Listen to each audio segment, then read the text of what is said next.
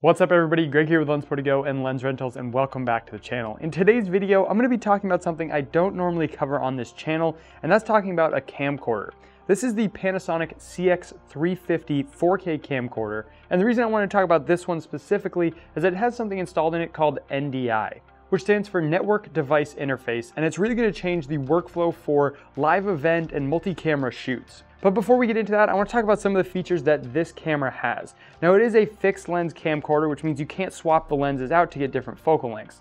But you're not really gonna need to be able to do that with this camera because it has such a large zoom range going from 8.8 millimeters all the way up to 176 millimeters on its one inch sensor which roughly gets you a 24 to 490 millimeter focal range Super 35 equivalent. With that, you also have a variable aperture going from 2.8 to 4.5, which is pretty standard for the camcorders in this range. Another nice feature for the optics is that you have a five axis in-body stabilization, so you can get some really smooth footage even when you're handheld. Now going on to the body of this camera, you have all of your professional inputs. So you have two XLR inputs, you have your HD SDI, your HDMI, as well as two SD card slots. You have all of your tools, so your waveform, zebras, you have your image stabilization like I mentioned. There's also three different levels of internal ND which you can turn on by a flip of a switch, so it's super nice to be able to shoot outdoors. And basically everything you'd expect from a camcorder like this, from Panasonic or from Canon or Sony, it has all of the features that you're gonna need. Going into the camera and talking about some of the codecs and resolutions and shooting options, you can do 4K UHD up to 60p, and that's 422 10-bit internally using the HEVC codec. You also have the All-I codec, which is the 400 megabits per second codec that's found in the GH5S, as well as the EVA1. But this you can only record up to 10-bit at 25 frames a second. If you are recording in that All-I 400 megabits per second codec, you will need to have the faster V90 SD cards to allow for that sort of recording. And then lastly, this camera has some really nice network connectivity options, allowing you to turn on Wi-Fi and then control the camera from a phone or a tablet using an app as well as being able to live stream directly to YouTube or Facebook or any other live streaming platform.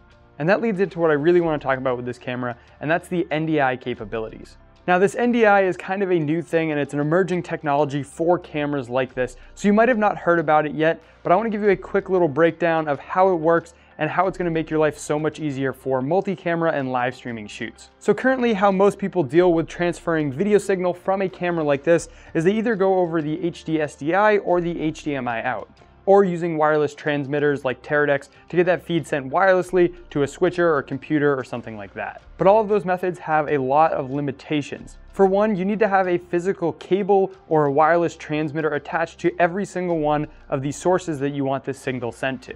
So if you want that signal to go out to five different places, you're gonna have to go SDI out of your camera into that first unit, then onto the next one, then onto the next one, and onto the next one. Now say you're doing that with multiple cameras going through all of those different inputs, it can start to get pretty crazy and you have a ton of cable running all around. You also have to worry about length limitations with SDI and running it that far. Standard SDI can go up to about 100 meters or around 300 feet and if you're doing this over HDMI, it's only about 50 feet or about 15 meters. On the other side is your monitor, your switcher, or your computer, or wherever you're sending this signal to. And the limitations there are with inputs. Now say you have a switcher that only has four inputs and you need five cameras. Well, you're only gonna be able to use four different cameras. You can't use all five that you need to. And this is where NDI comes in, using ethernet cable over a local area network and it's surprisingly easy to use. With NDI, you're no longer limited to certain cable limitations. You can easily get over a thousand feet of run if you need to. You also get some camera control for pan, tilt, and zoom cameras. And lastly, there's no more limitations on how many import sources you can have into your switcher. So you could have 20, 30, or more cameras if you wanted to. There's two ways to use NDI. The first one is creating its own local network. And this is gonna work by taking an ethernet out of your camera, plugging it into a network switch, and then plugging your computer, your switcher, or whatever you're using into that network switch as well. And now you're gonna be able to see that source signal on your switcher.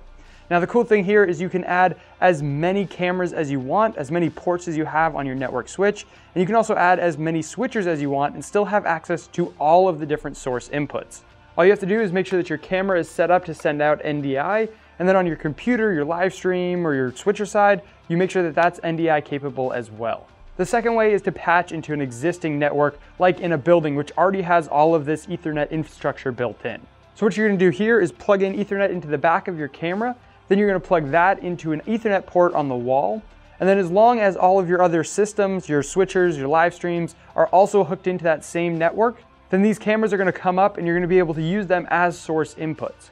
And then just like before, you can plug in as many cameras and as many monitoring switchers, recording monitoring options as you want, hooked into an ethernet as long as it's all on that same network. And this is gonna be a total game changer for live event and multi-camera productions, making the process just so much easier. Now, this all sounds pretty great and like there's really no downside to this, but there are a couple limitations of this new Ethernet NDI. Currently using the NDI, you can only get up to full HD, which is 1920 by 1080, and up to 60 frames a second. It also only has a maximum bit depth of 422. So in the future, I hope this is updated to allow for 4K video transfer over the Ethernet cables, because we know those have the bandwidth of up to a gigabit per second. So that's everything that I wanted to cover about the Panasonic CX350 as well as the NDI and sort of a little introduction to what NDI is and where it's going in the future. If you have any questions about it or you want to hear a video a little more in detail specifically on NDI, make sure to let me know in the comments down below. And if you have any questions about this camera or you want to try it out for yourself, make sure to check out the links in the description and I'll see you in the next one.